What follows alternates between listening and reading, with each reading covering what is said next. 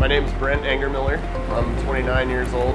I work for a production company. We do booking for live music and events. In my free time, I like to skateboard. And I also go to school at SAC. I stopped driving like a year ago. I just didn't need to drive anymore.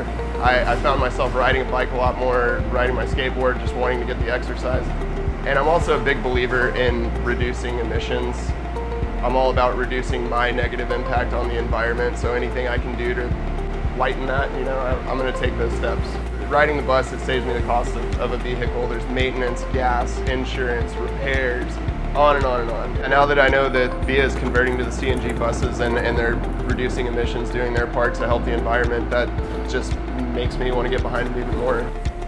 So right now I actually have some free time. I had the day off from work today, so I kind of just wanted to hit the skate park. And uh, usually, you know, on a day like today, I'll just skate from my place to the bus stop, take the nine down Broadway, down to the, the skate park on Nacogdoches, and uh, have a little sesh, and then hop back on the bus and head home.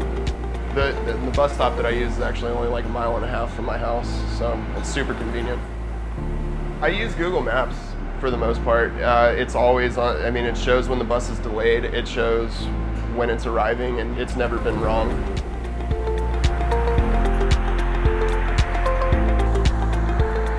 So not only is VIA convenient for me, but you know, I also feel good about riding the buses and doing my small small part to contribute to helping out the environment, reducing my carbon footprint, you know, and it definitely feels good.